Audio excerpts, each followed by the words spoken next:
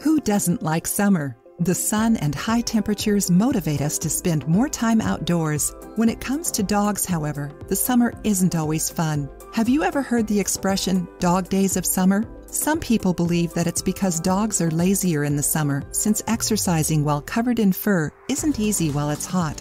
Another summertime problem that can plague our pets has to do with fleas and ticks that attach themselves to our furry friends and spread diseases. Fleas can remain dormant for several months and appear right in the middle of summer.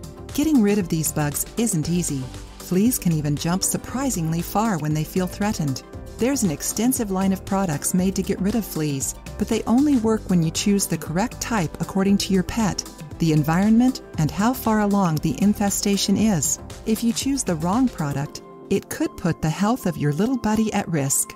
In today's video, we're going to teach you a cheap, easy recipe that you can use to get rid of the fleas and ticks bothering your pets. The ingredients are easy to find and make your animal's fur super soft.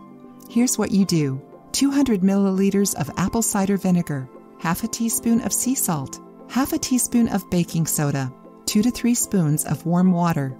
Instructions First, mix the vinegar, salt, and baking soda and put them in a spray bottle. Next, add the warm water and shake the bottle. Spray the mixture on your pet's fur, especially their ears, legs, and neck. You can also comb through their fur to get rid of the bugs that the spray didn't take care of. Brushing your cat or dog is also good for preventing fleas and ticks.